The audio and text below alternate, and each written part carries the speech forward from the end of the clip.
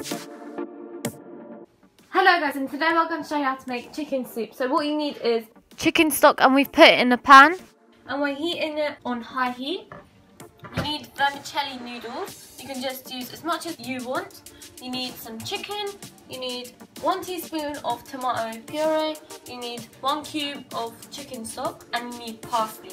And you also need just a bit of salt. And this is really easy and it's so delicious. So you just add the tomato puree to it. And then we're going to add the chicken and the parsley with the chicken stock. Just a bit of salt. And then we're going to cook them for five minutes. And we'll be back. And now after five minutes we are going to get the vermicelli noodles and add them to the soup. And we're going to cook them for one minute. So this is just how much we're going to add. And so now after one minute we've just switched off the cooker. And we're going to put some of the soup into the bowl.